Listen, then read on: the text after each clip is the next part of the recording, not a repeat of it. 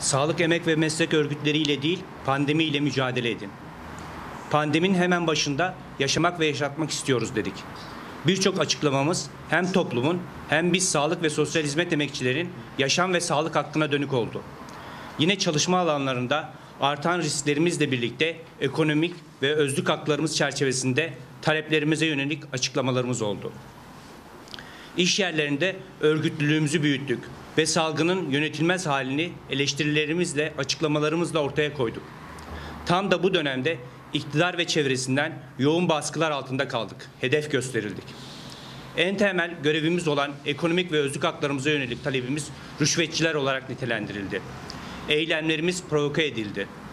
Sağlık politikalarına, pandemi yönetimine yönelik açıklamalarımıza yandaş basın kalemşörleri iktidar tarafından müdahale edilmezse hakkımıza helal edilmiyoruz açıklamaları yapıldı. Salgın yönetimine karşı önerilerimiz ve toplumu bilgilendirme görevimiz iktidar ve çevresi tarafından eleştirildi. Toplum sağlığına yönelik açıklamalarımız ulusal ve milli çıkarlara zarar veriyor olarak nitelendirildi. Sosyal ve yandaş medya üzerinden sağlık emek ve meslek örgütleri hedef gösterildi.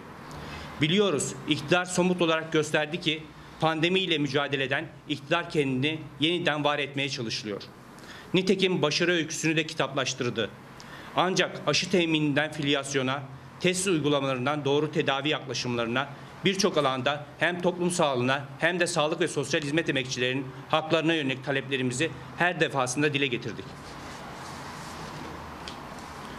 Amacımız toplumun tüm kesimlerinin söz söyleyebildiği, taleplerinin karşılandığı bir pandemi sürecinin izlenmesiydi.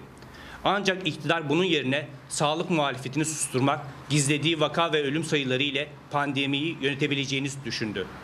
Süreç içerisinde pandemiyi yönetmek yerine algıyı yönetmeyi tercih edenler maalesef yarattıkları algının her sarsılışında biz sağlık emek ve meslek örgütlerine daha da saldırganca tavır sergiledi.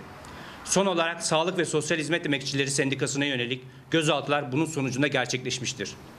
27 Mayıs 2021 21 tarihinde aralarında SES eski Genel Başkanı Selma Atabey, önceki dönem eş Genel Başkanı Gönül Erden, eski Genel Başkanı Bedriye Yorgun, eski MYK üyeleri Fikret Çalağan ve Belkıs Yurtsever ile Ankara SES Şube yöneticileri Rona Temelli, Erdal Turan ve Ramazan Taş gözaltına alındı. Pandemi sürecinde 50 bine yakın yurttaşın ve en az 434 sağlık emekçisinin yaşamını yitirdiği, 140 binden fazla sağlık emekçisinin ise enfekte olduğu bu dönemde sağlık emekçilerine yönelik yapılan baskıları ve hukuksuzluğu kabul etmemiz mümkün değildir.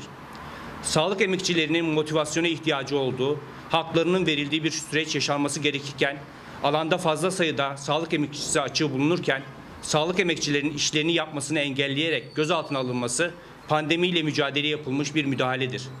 Bir kez daha ifade ediyoruz. Sağlık ve sosyal hizmet emekçilerinin pandemi yönetimine yönelik eleştirileri baskılamak yerine dinleyin.